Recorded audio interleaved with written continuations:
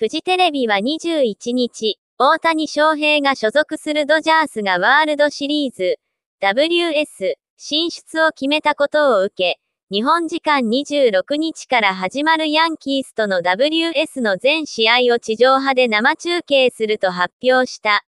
同局関係者は、世紀のシリーズを国民に届けられるまたとないチャンス、と喜んでいる。写真、ドジャースがリーグ優勝を果たし、愛犬を抱いて関係者と乾杯する大家の妻まみこさん。今回の放送が決定したのは富士の幸運だった。代理店関係者によると、地上波の大リーグ中継は、NHK と民放が交互に WS かオールスターゲームの放送権を持つ。今年は NHK がオールスターを放送し、WS の放送の権利は民放が持っていた。この権利は民放各局が持ち回りで獲得することになっており、偶然にも今年は富士が持っていた形だ。NHK も BS では放送する。スポーツでは、ここぞの大一番を中継してきた富士。プロ野球で1994年の巨人と中日のリーグ優勝をかけた18を中継し、視聴率48.8%、ビデオリサーチ調べ、関東地区を記録。今も野球中継歴代1位の視聴率だ。サッカーでも2年 W 杯日韓大会で日本が W 杯初勝利を挙げたロシア戦を中継。66.1%を記録し、これも現在までサッカー中継の歴代1位。そうした歴史もあり、同局関係者は、WS が視聴率アップの起爆剤になれば、と期待を寄せる。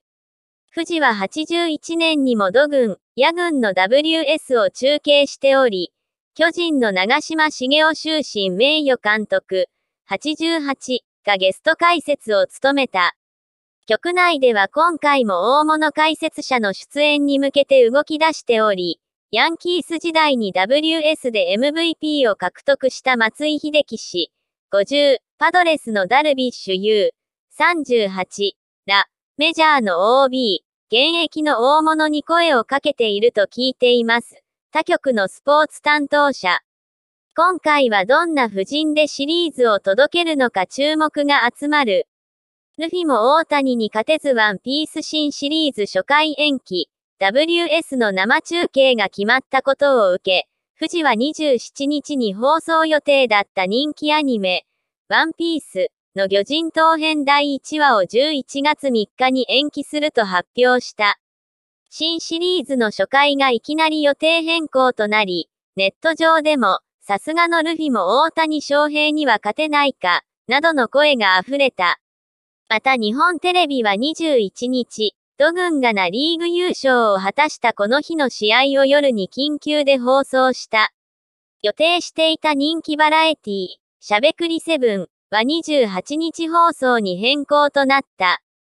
セレブの応援対決にも注目。中継では両軍の著名人ファンたちにも注目が集まりそうだ。この日の試合では、米俳優のトム・ハンクスがド軍を応援。地区シリーズパドレス戦ではブラッド・ピットが観戦したことも話題になった。他にも人気バンド、レッドホットチリペッパーズのフリー、監督で俳優のロブローがド軍のファン。一方、ヤ軍はトム・クルーズやジョージ・クルーニーがファンとして知られる。最近は歌手テイラー・スウィフトが交際中の NFL 選手トラビス・ケルシーと観戦に来たことも注目されたばかり。名門同士の戦いだけに、ファンでなくともセレブが観戦に訪れる可能性も高い。